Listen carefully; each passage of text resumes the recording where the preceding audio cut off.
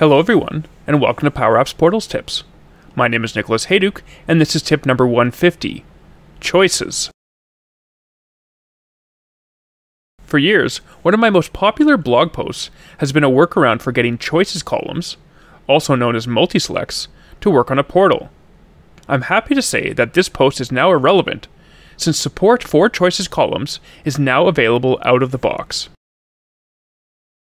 While choices columns have been available in Dataverse since 2018, before it was even known as Dataverse, the portal has not up until now supported it.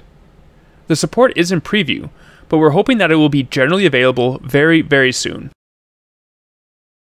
While it is in preview, you do have to opt in to using the feature. You can do this by creating a site setting called control forward slash enable choices and setting the value to true.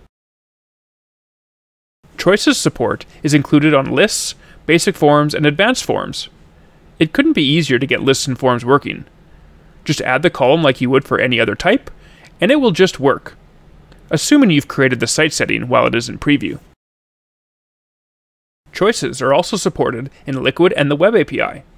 In my next tip, I'll go a bit deeper into how to use choices columns as a developer. Thanks for watching and I hope you found the Power Apps Portals tip number 150 on choices useful.